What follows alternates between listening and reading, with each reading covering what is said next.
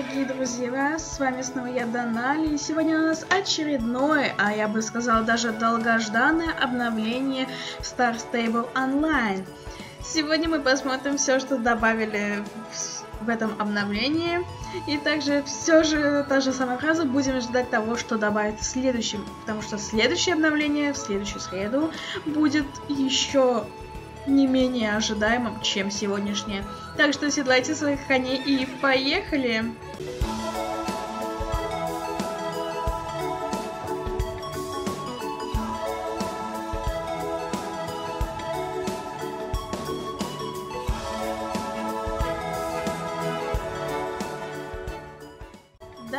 выдержала ее, пока я не снимала видео, я каталась со своими друзьями, я уже успела приобрести себе обновочку данного обновления. А в этом обновлении разработчики порадовали нас новыми обновленными квадрхорсами или четвертьмильными лошадьми. Я одну уже себе купила, такую симпатичную лошадку, но давайте к ней мы перейдем чуть позже, а для начала я вам покажу всех тех пород, которые находятся на... Э, всех тех мастей, которые находятся на ранчо Старшайн.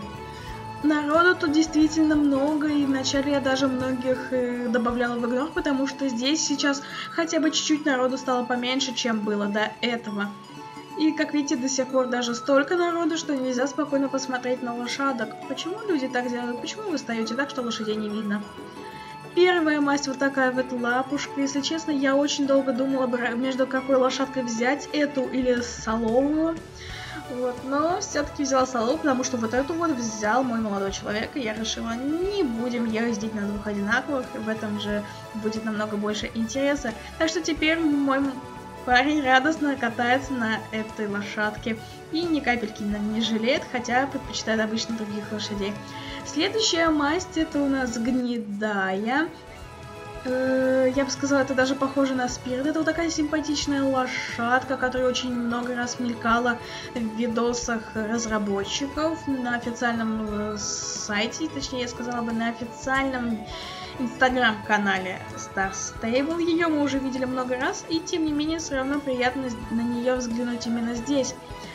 Тоже стала большой любовью многих игроков в ССО, многие купили, но просто она, если проигрывает, то только Вороному, которого, по-моему, скупила почти больше, почти вся часть э, игроков Star Stable Online это вот этого Воронова с отметиной в виде фонаря на мордочке. И насколько я услышала, у него разного цвета глаза. Да, действительно, сейчас разработчики очень часто стали делать э, лошадей с разным цветом глаз, то есть один у него серый, другой голубенький. Конь тоже очень симпатичный, его собирается покупать моя лучшая подруга по ССО. Вот, так что я надеюсь, я пожелаю ей удачи с этой лошадью, потому что он тоже очень милый. Но, кстати, здесь нет солового, да, разработчики добавили в этом обновлении не трех лошадей, а четырех. Как раз именно соловая находится в форте Пинта.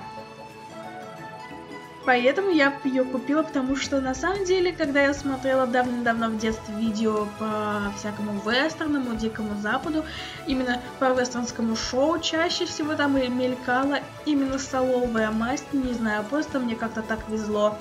Вообще порода действительно в ССО, она очень отличается от всех остальных тем, что лошадь достаточно невысокая, хотя мне кажется, я просто привыкла, что все вокруг меня катаются на высоких лошадях или на слишком маленьких.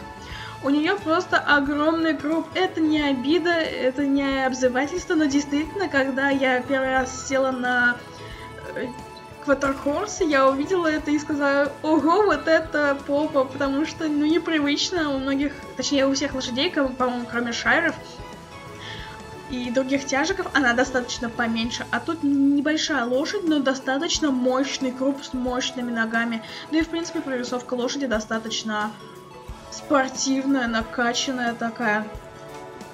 Все купили этих лошадей моментально из-за ее особенностей. Во-первых, она единственная, по-моему, лошадь в игре, которая теперь постоянно держит голову вот в таком вот положении.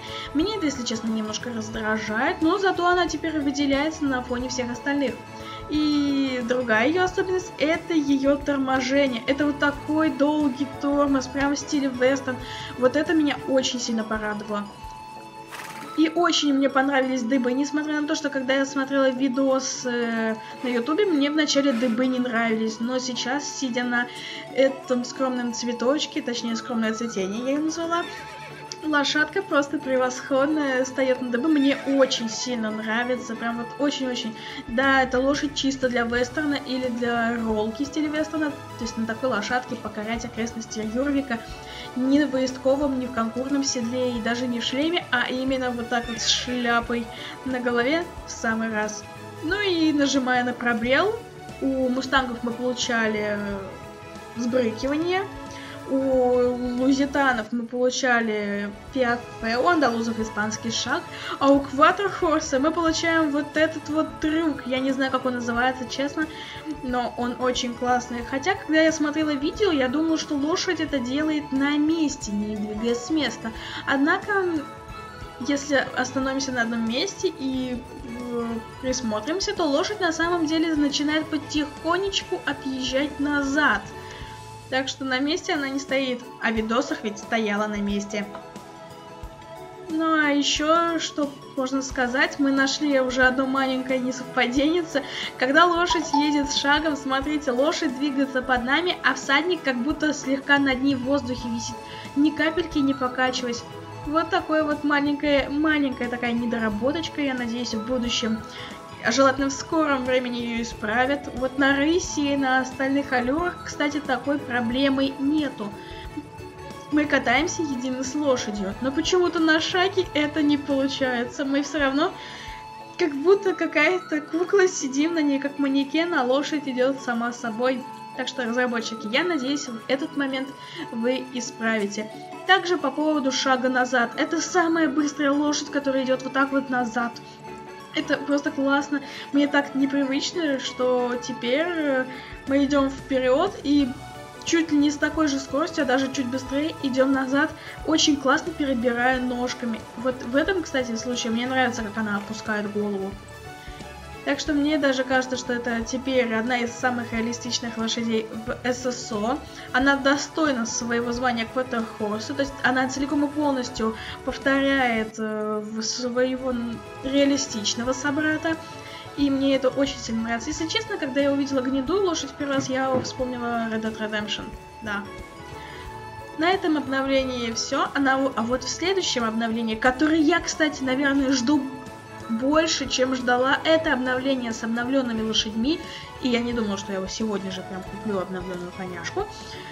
В следующем обновлении разработчики добавят для нас обновленную вестернскую амуницию. И там будут недоустки, которые уже мелькают во всем Инстаграме, во всем Ютубе. И, и в официальном источниках разработчиков там есть недоустки. Я надеюсь, их просто добавят в этот магазин. Так что вот если на этой неделе я потратилась чисто на одну лошадь, а лошадь одна стоит 950 СК, да-да, пришлось так потратиться на дорогую лошадку. Спортивную, да, ты такая хорошенькая. А вот на следующей неделе как бы не потратить все свои сбережения на амуницию, потому которая, кстати, обещает быть очень крутой. Вы можете посмотреть это в Инстаграме, на, ю... на просторах Ютуба и поймете, о чем я говорю. На этом обновление подходит к концу. С вами была я, Донали, моя новая лошадь, скромное цветение. Не забывайте тренировать своих лошадок, чистить их, а также угощать морковкой. Всем пока, удачи вам и до встречи в следующих видео.